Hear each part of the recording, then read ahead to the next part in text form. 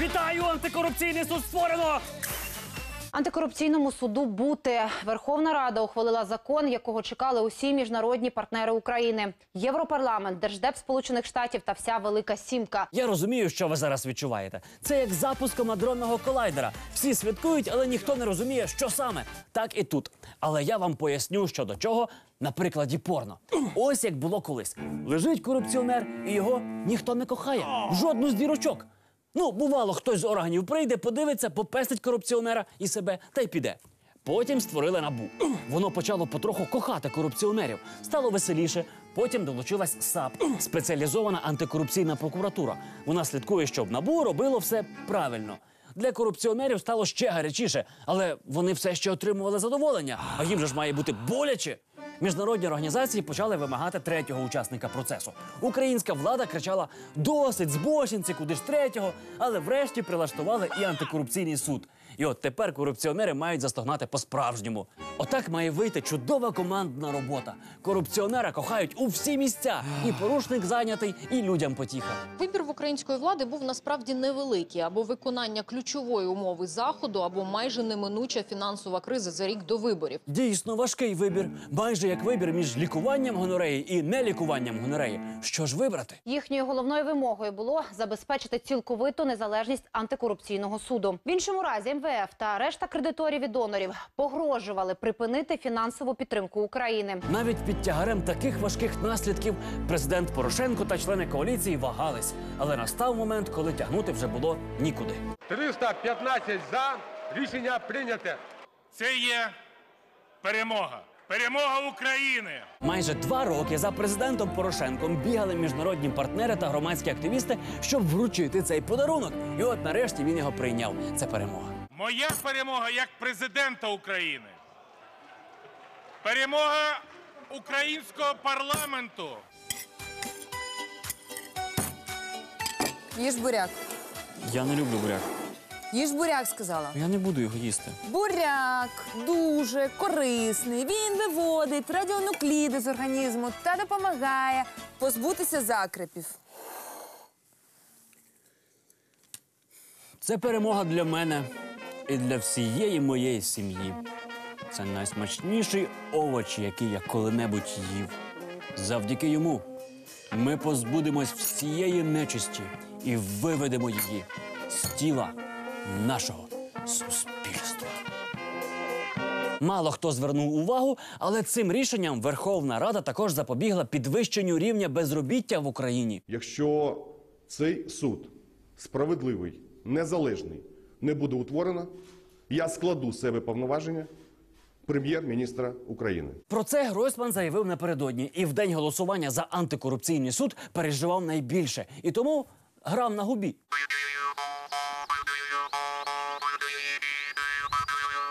І тепер, коли Верховна Рада проголосувала, всі наввипередки почали казати, що вони весь цей час були за антикорупційний суд з самого дитинства. Чесно, чесно. Це є перемога. Святкуємо! Ура! Та його ще рік будуть створювати. А поки жої сраку. Що спільного між гарною незнайомою дівчиною та негарним незнайомим поліцейським? Вони обидвоє вам не скажуть свій номер. А чому у вас шолом без номера? Спросите мого старшого, добре? Так, відсутність номерів на шоломах поліцейських це проблема, яка мала бути вирішена одразу після майдану, де протестувальників лупцювали правоохоронці, особи яких тепер майже неможливо з'ясувати. І така необхідність це не тільки наші особисті побажання, це ще й обіцянка самого міністра МВС Арсена Авакова. Протягом січня-лютого 2015 року кожен міліціонер, сподіваюсь, до того часу поліцейський, матиме свій персональний жетон з особистим номером для носіння на службовій формі при патрулюванні і відповідний номер на шоломах. Минуло три з половиною роки після обіцянки та більше трьох років від дедлайну. За цей час було безліч випадків, коли представники МВС забували, що на дворі вже не 2013 рік та лупили на мітингах без розбору всіх, хто попадався під руку. Заходять, заходять, ламай! Я не можу. Обличчя зніми, блін! Покажи обличчя! Номера покажи! Виходь, урод! Я не знаю, я не урод. Виводьте його повністю! Але ідентифікувати людину, яка відбила тебе як бабусин старий килим, неможливо, тому що у більшості з них досі немає номерів на шоломах. О, бачите, вас немає. А чому? Чому немає? Так. Ну немає, бо такі видали каски. Уявіть, що футболісти виходять на матч без номерів та прізвищ і в масках, а потім під час матчу починають лупцювати глядачів, а суддя не знає, кого дискваліфіковувати, тому що ідентифікувати їх неможливо. Нема. Нема. А у вас? І у вас нема. А давно вам каски видали? Сьогодні. Сьогодні, так? Да? Тобто ви їх, ви їх раніше не, не носили? Ні, це новий завод був. Новий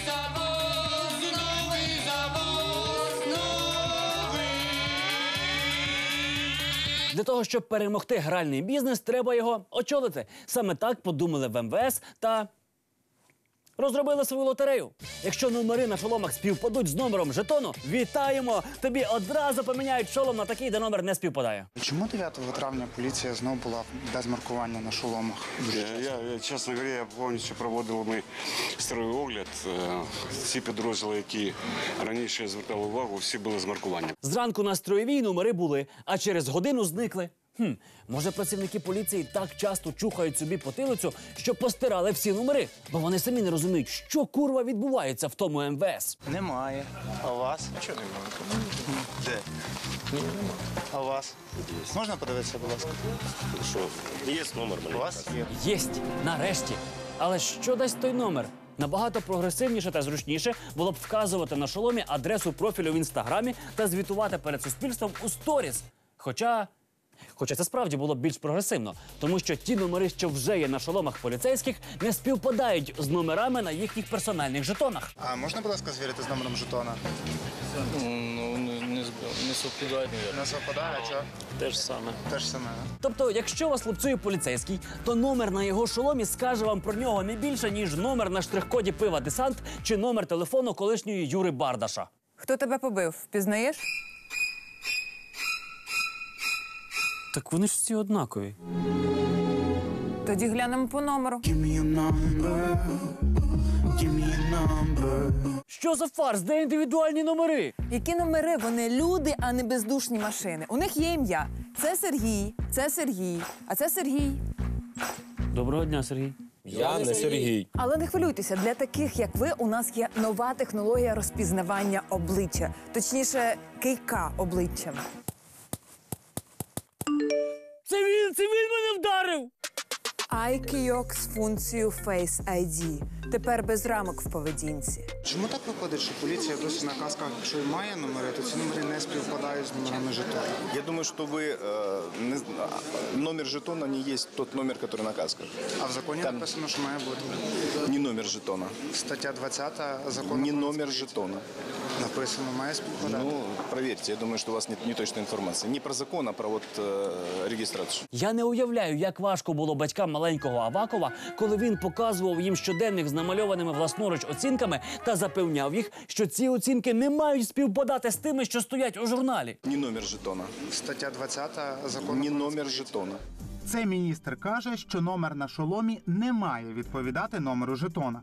А далі він каже: Де ви бачили в Києві? Я думаю, що в Києві побачите, і ви в Києві побачите совпадіння. Немає, я питав. Так що ви від мене хочете? Ну я кажу маю, а ви кажете немає. Отже, дві протилежні тези за 40 секунд спілкування. Так, ми помиляємось, бо все насправді набагато простіше. У МВС просто немає грошей на маркування. І водночас все ж таки є гроші на маркування, але лише на неправильне, бо так дешевше. Мабуть, закупили шоломи з литовськими номерами, щоб більше залишилось на гелікоптери. Сьогодні на порядку денному питання про ратифікацію угоди між е, правительством Франції і е, урядом України про закупівлю о, 55 гелікоптерів. Проект е, вартує 551 мільйон євро. Якщо витратити 551 мільйон євро на 55 гелікоптерів, то поліцейських можна буде підняти так високо, що вже ніхто не розгледить, чи є в них те кляте маркування, чи немає. Ось так дешево та легко ця проблема і вирішиться. Ми навіть придумали слоган Ви в безпеці, поки ми в небі. Правильно підмітили, пане міністре. Дивна річ, але це чиста правда. Поки ви десь у небі на землі справді відчуваєш себе безпечніше. Перш ніж їхати на курорти, ознайомтеся з модними тенденціями літнього сезону. У моді пудровий кольор, кюлоти та терпіти в туалет. Останній тренд суто одеська ініціатива. Схрестити ноги і дотерпіти додому. Закликає одеситів та гостей міста соціальна реклама. В Одесі, навіть якщо вам хочеться накласти на проблеми міста, то просто нікуди. Боротися з ганебним явищем небайдужі одесити вирішили за допомогою соціальної реклами і розмістили постери про те, що терпіти це модно. Терпіти це модно. Саме під таким гаслом пройде в Одесі літо 2018 року. Щоб бути у фарватері моди, вам потрібно 4 лимонади, півгодини часу і все. Терпіть, ідіть по вулиці зі схрещеними ногами, ловіть захоплені погляди оточуючих.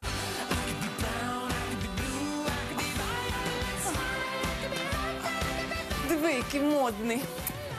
До речі, у цієї реклами якийсь неправильний дизайн. До чого там серця? Нехай би були нирки чи сечовий міхур. Мы постараемся этим побудить людей задуматься, что все начинается с самих снах. Поки невідомо, що першим не витримають одесити: тиск у міхурі чи таку соціальну рекламу. Бо поки що все, що робить цей банер, спонукає сходити в туалет. Ідеш собі, думаєш про своє, а тут нагадування на кожному кроці. Навіть той, хто не хотів, захоче. Вбиралень у місті справді бракує, визнають комунальники. Кажуть, є і гроші, і програма, але знайти місце для розташування туалету в історичному центрі міста непросто. Тобто влада не хоче псувати туалетами історичний центр міста. Але парадокс у тому, що без туалетів центр міста дійсно буде виглядати історично, як у середньовіччі, з обіцяними стінами та помиями на кожному кроці. Скоро в Одесі працюватимуть три десятки нужників, обіцяють у міськраді. Там планують навіть розробити інтерактивну мапу клозетів. А поки проблема вирішується, на порнхабі спостерігають підвищення западів з Одеси у категорії Золотий дощ. Тож уже наступного року мода на дотерпіти додому може минути. Так, мода мінлива, зате лишаються вічні цінності. Наприклад, акція Дотерпіти до моря. Заберіть дітей від екранів і Монатіка, і Віктора Павліка, і Віталія Кличка, бо всіх їх можна сплутати з дитиною. Всіх заберіть.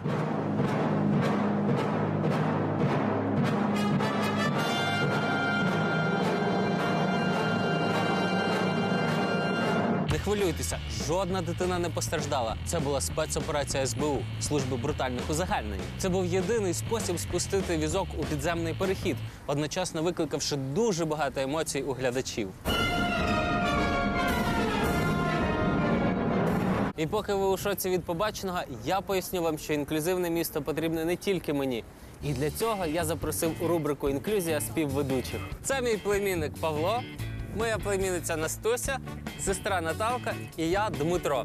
А разом ми супермаломобільна група. І нашою суперсилою є всюди запізнюватись і майже нікуди не потрапляти.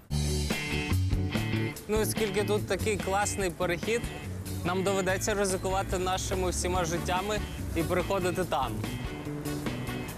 Що ти зносиш? Дитячий візок важить в середньому 10-15 кілограмів і довжиною до метра. А якщо ви дуже постаралися і у вас двійня, то візок для близнят буде трохи меншим за лімузин і важити десь як мішок з цементом.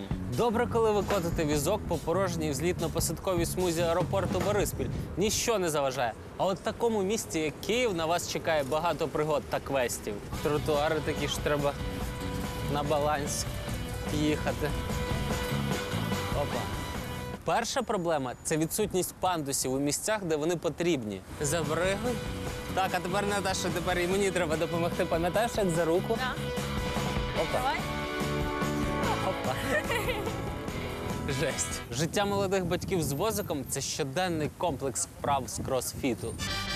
Тягнути возик за собою, тягнути возик за собою боком, штовхання возика вперед. Вправа тягнути в присіді. Вправа кріль. Це реальна вправа, до речі. І якби не наш сюжет про інклюзивність, ви б так і жили в світі незнання, що таке взагалі існує. А коли ви до цього непростого комплексу вправ додаєте ще й комплекс вправ на сходах, то тут навіть професійний спортсмен може впасти на коліна та просити змилуватись. Так, а ти так будеш спригати, так? Ну ладно, бо мені с- страшно. Так може Пашу хоча б в сторону забрати, якщо коляска звалиться. А ще відсутність пандусів допомагає молодим батькам виростити майбутніх чемпіонів з BMX з ідеальним вестибулярним апаратом і готовністю падати з будь-яких висот.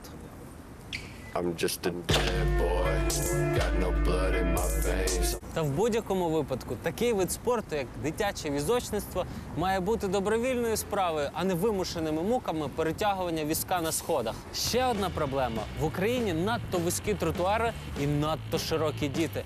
Автівки, які прийнято паркувати на цих тротуарах, і діти, яких везуть по цих тротуарах на візках, просто разом не поміщаються. І в цій ситуації перемагає сильніший. Ого! На деяких вулицях автівки припарковані так щільно, що якщо на дитячий візочок почепити щітки та шланг з водою, то можна відкривати мобільну автомийку. Все одно постійно візок об машини мажеться, а так хоч додаткові гроші будуть на сім'ю. І нарешті високі бордюри, з яких буквально доводиться зсаджувати дитячі візки, коли хочеш перейти дорогу. І це ще один додатковий вид військового кросфіту, якщо у вас ще залишилися сили після спуску у підземний перехід. Так, ну що, Павло, тримаєшся? м Опа. Є.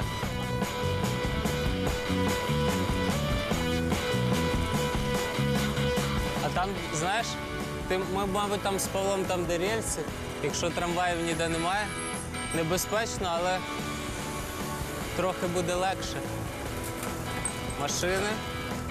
Ні, звісно. Так з дітьми гуляти не можна. Хіба на камеру, щоб показати, як це небезпечно і страшно. Міська інфраструктура ніби шепоче тобі. Будь child-free, будь child-free. Ми навіть записали інтерв'ю з child-free анонімкою, яка приховує своє обличчя.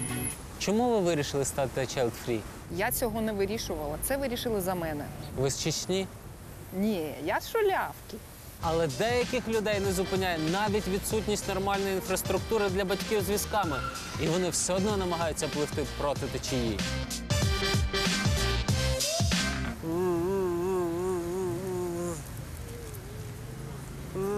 Настуйся. Терміново українські політики нарешті почали говорити те, що насправді думають. Не надо тратить бюджетные деньги на лечение онкобольных, потому что они и так умрут. Не треба вже по суті лікувати онкохворих людей, тому що вони і так помруть. Онкохворі і так помруть, тому не треба їх лікувати. Не надо лечить, они все умрут. Чули? Ви це чули? Ви ж власними вухами чули. Шуфрич, Тимошенко, Ляшко та Рабінович бажають якнайшвидшої смерті онкохворим українцям. Та після таких заяв не тільки у пекло, навіть у опозиційний блок не візьмуть. Просто обмежені ідіоти. Саме так, але спробуємо для початку розібратися, що змусило українських політиків говорити такі речі. Е, Тут мені щойно сказали, що ми просто зманіпулювали та повисмикували фрази з контексту. Тобто ми щойно зробили буквально те саме, що минулого тижня робили Тимошенко, Ляшко, Шуфрич, Рабинович та ще купа довкола політичних прокаріотів, Ольга Богомолець та, прости господи, журналісти. Вони вкотре атакували Мінохорони здоров'я, висмикнувши з контексту та перекрутивши виступ заступника міністра Олександра Лінчевського у рахунковій палаті. Вони всі помруть. Саме так сказав заступник міністра охорони здоров'я України про онкохворих. І тепер пацієнти та рідні, які щодня чекають на допомогу від держави, вимагають відставки Олександра Лінчевського.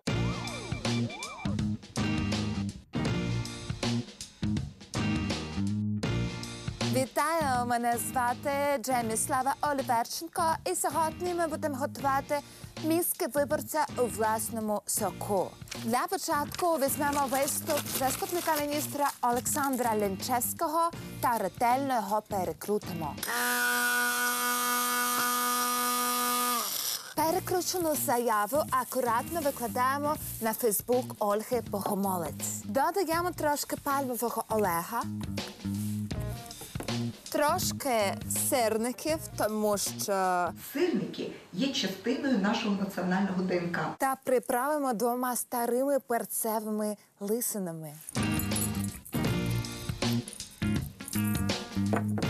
Наша страва готова. Тепер нагодуємо цим всім українців. Отже, ще раз поясню, що відбулося. Цілий тиждень людям розповідали, що на закритому засіданні рахункової палати замміністра Лінчевський сказав, що хворих на рак лікувати не потрібно, бо вони всі помруть. Цей виступ ніхто не чув і не бачив. Всі посилалися лише на часткову розшифровку засідання. Я за те, щоб покарати людину, якщо вона дійсно це сказала. Але для цього ми повинні всі пересвідчуватись, що він саме це сказав. І слава Богу, слава Богу, що є аудіозапис. Це говорив пан Гройсман, коли всі вже бачили розшифровку виступу Лінчевського. Ось ці слова цитували політики та істерички. Це рак, вони всі помруть. А ось про ці слова чомусь забули. Ми даємо людині шанс пожити ще трішки, пожити довше. Чому ж він взагалі почав про це говорити? Бо рахункова палата звинуватила Мінохорони здоров'я у нерозумному використанні коштів для лікування онкохворих за кордоном. На це витратили цілих, на думку рахункової палати, 800 мільйонів гривень. 43 громадянина померло. Тобто 25% померли під час лікування або після його завершення. Ми даємо шанс людині пожити ще трошки, пожити довше. Отже, ще раз для прихильників Тимошенко та Опоблоку. Рахункова палата звинуватила Мінохорони здоров'я у тому, що гроші якось не так витрачають, бо 25% пацієнтів помирають. Лінчевський відповів: так, онкохворі помирають, але ж це не привід їх не лікувати, навіть якщо це лікування дає їм шанс прожити лише трошки довше. Але ляшки Тимошенки, Шуфричі, Богомольці причепились до вирваних з контексту слів. Просто обмежені ідіоти. А тепер в точку, пане Олеже. Алло, алло, водоканал? Водоканал, у мене немає води. Вибачте, ми зараз дуже зайняті. До речі, ви не знаєте, Супрун запроданка заходу пишеться через тире? До чого тут водоканал? спитаєте ви. А до того, що навіть працівники Київводоканалу, Київгазу, Київпастрансу та Київавтодору звернулися до прем'єра Гройсмана. Це справжня заява у вас на екрані з вимогою звільнити міністра охорони здоров'я та її заступників на підставі перекручених слів Лінчевського. До речі, кажуть, до заяви комунальників мала приєднатися ще й профспілка циркових артистів, але вона була задіяна на мітингу Рабіновича. Они сделали образовательную реформу, чтобы не были умными. І надалі ходили на мітинги Рабіновича. А от чому всіх цих людей не влаштовує медична та інші реформи, чітко пояснив Нестор Шуфрич. У нас нет полноценного министра, который полноценно убивает украинских людей. І я просто нагадаю, що від дня, коли останній раз Шуфрича торкалася рука здорової людини, пройшло 1349 діб. У нас в гостях побував Дорж Бату, письменник та колишній журналіст. Він довгий час жив у Львові та вивчив українську мову, а тепер працює у НАСА. І це не Національна асамблея сироварів астматиків. Він написав книжку Франческа Повелителька траєкторій і презентував її на книжковому арсеналі. Про що ця книжка? Це абсолютно така несерйозна книжка. Це збірка різних смішних історій, яка трапилася зі мною і моєю напарницею, здебільшого з моєю напарницею, звичайно, і з моїми колегами. На роботі в НАСА, так? Абсолютно. Ким ви працюєте в НАСА? Я працюю оператором центру управління польотом. Ви один з тих, хто сидить перед моніторами, коли показують НАСА, і там величезні екрани і багато О, столів. Ні, я до цього ще не доріс. Е, Ці в- багато моніторів вони в Х'юстоні і в центрі Кеннеді в Флориді, а ми знаходимося в Новій Англії. Де де? В Новій Англії. Новій Англії. Як ваші колеги в НАСА поставились до того, що ви про них написали книжку, і одна з ваших колег головна героїня? Вони знали, що я пишу якісь історії Фейсбук, оскільки ніхто не читає українського, звичайно, що для них це було е, на кшталт паралельної реальності. Коли я сказав, що я буду писати книжку, всі сміялися. Коли я питав дозволу, чи можу я використовувати їхні образи як прототипи моїх героїв, вони сміялися ще більше. Врешті-решт, коли я показав їм вже фізичний екземпляр, вони зрозуміли, в яку халепу вони втрапили. Коли ви цю книжку встигли написати взагалі? У мене активна зміна триває 4 години. Всі пригоди, які траплялися з нами в цій книжці, траплялися або до активної зміни, або під час активної зміни. І під час цієї зміни в мене є дві перерви по 15 хвилин.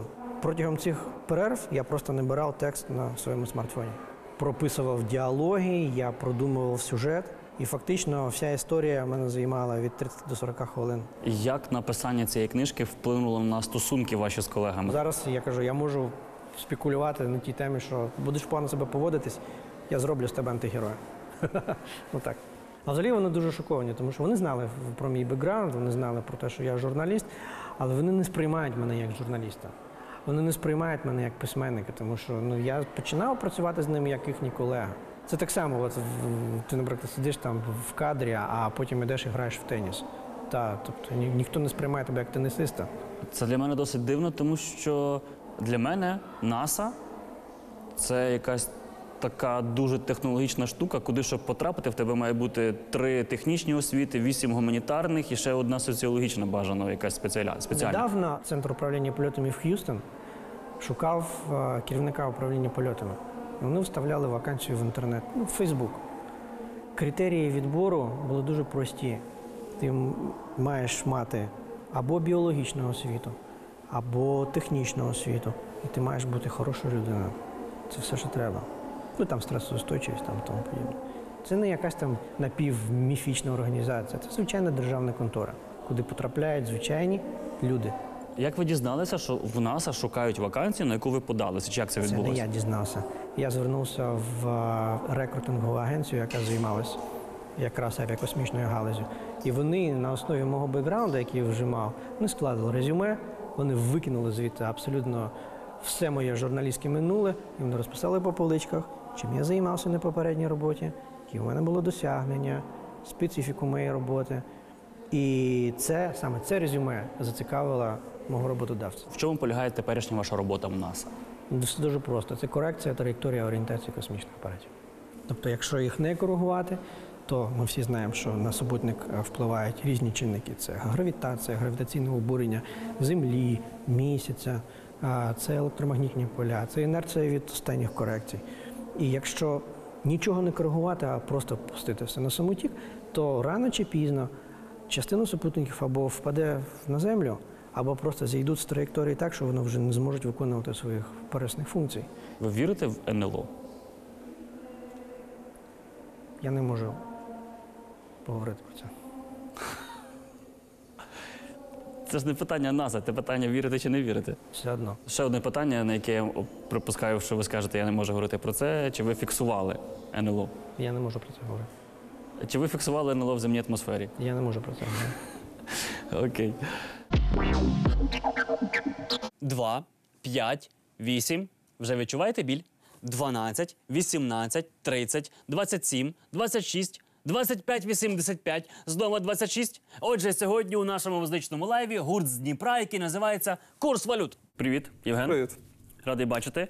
Дуже приємно, що ви до нас приїхали з Дніпра. А в Дніпрі скільки є? Багато електронних клубів, де можна виступити, грати, придумувати щось. Наразі це один клуб, о, який спеціалізується на цьому. Там, де ви Це- народилися? Це де ми народилися, де ми репетуємо, де ми просто тусім. Чому курс валют? Це ім'я і фамілія вигаданого персонажа, ліричного героя. Воно просто прикольно звучить трохи з німецьким присмаком. Яку пісню ви сьогодні будете грати? 4-5-3-3. Що означає цей набір цифр? Це законопроект про легалізацію деяких наркотичних засобів та марихуани в лікувальних цілях. Як ви написали цей трек? Написав Чи як він придумався? цікавий грув, а потім випадково придумав слова за основу і в цілому, а після цього вже придумав, про що саме буде йтися. За основу і в цілому. Це Так, це слова з мені пісні. дуже подобається канцелярит взагалі. Канцеляризм? Канцелярит. канцелярит як мова. Так, так, так. 4-5-3-3. Пісня у виконанні гурту Курс валют.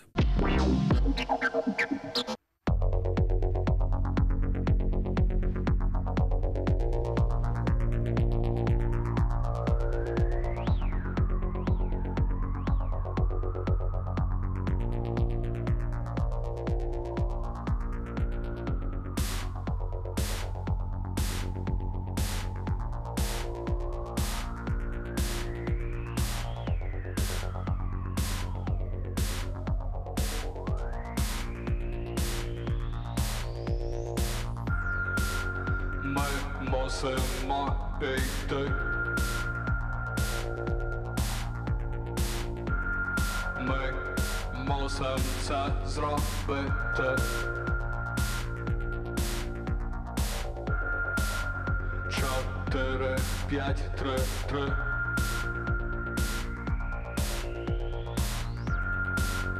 Чотири, п'ять, тре, тре. За основу і в цілому. За основу і в цілому.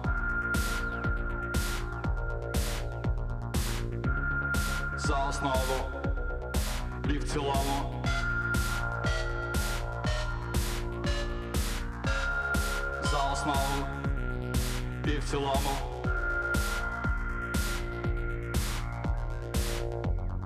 Не нехтувати цим.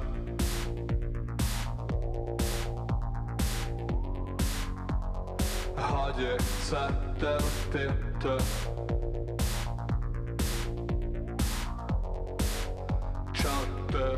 П'ять, три, три.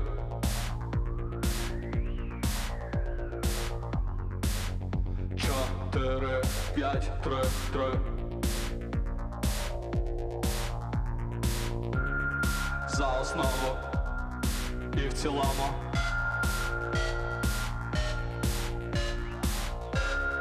За основу і в цілому.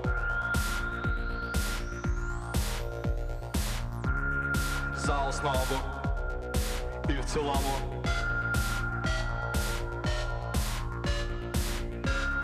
За основу і в цілому.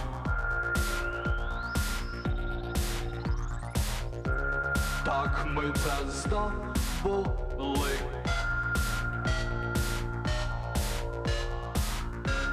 Так ми це здобули.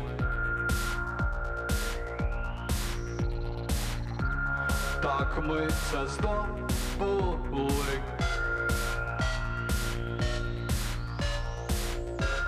Так ми це здобули.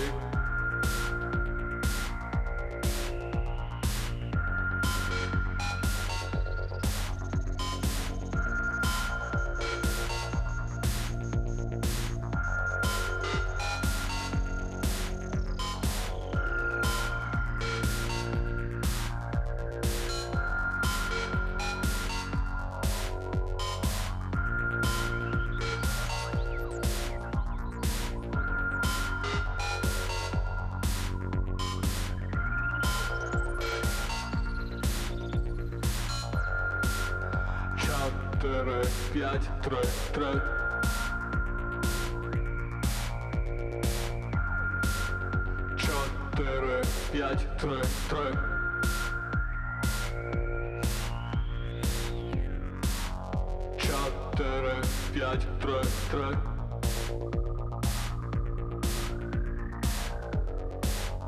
Чотири, п'ять, три, три.